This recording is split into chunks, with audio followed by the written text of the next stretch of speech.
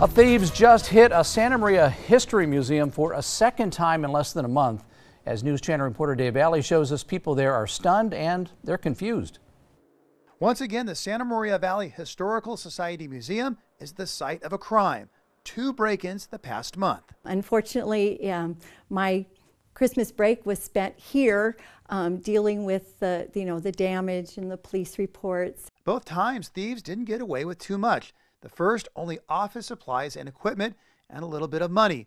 Most recently, even less. They got away with our cash box, but again, we only had $2 in it and with a laptop. Since the small nonprofit museum doesn't have a lot of cash or expensive equipment inside, people here are not only upset, but bewildered too. I just don't get it. I think it's just, I'm still, it's a head scratcher. I'm trying to understand. And I just, I can't, I can't put my head around it. Just like after the first break in, everything in the museum remains intact leaving those who work and volunteer here grateful that none of these artifacts were either taken or destroyed. They're irreplaceable and there's just so much history. So it's really, I'm really grateful. Yeah, we wouldn't be able to replace these things. In response, the museum is changing money protocols and windows have been reinforced. Surveillance cameras and other security equipment are also coming soon, provided by generous community support. We hope that this doesn't happen again. But we do feel that if anyone tries to break in, that they'll get minimum